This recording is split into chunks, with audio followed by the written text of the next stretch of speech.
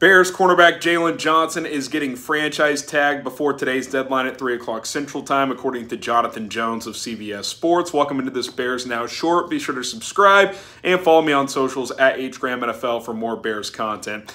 As the week went on last week in Indianapolis, all the chatter was that this was likely the direction this was going to go. Jaylon Johnson going to get the $19.8 million franchise tag. Now, Jonathan Jones was reporting a new deal could still happen, and it could even still happen before free agency starts next week. So I think talks are positive still between the two sides, but Jaylon wants to reset the market. Bears probably don't want to go that far.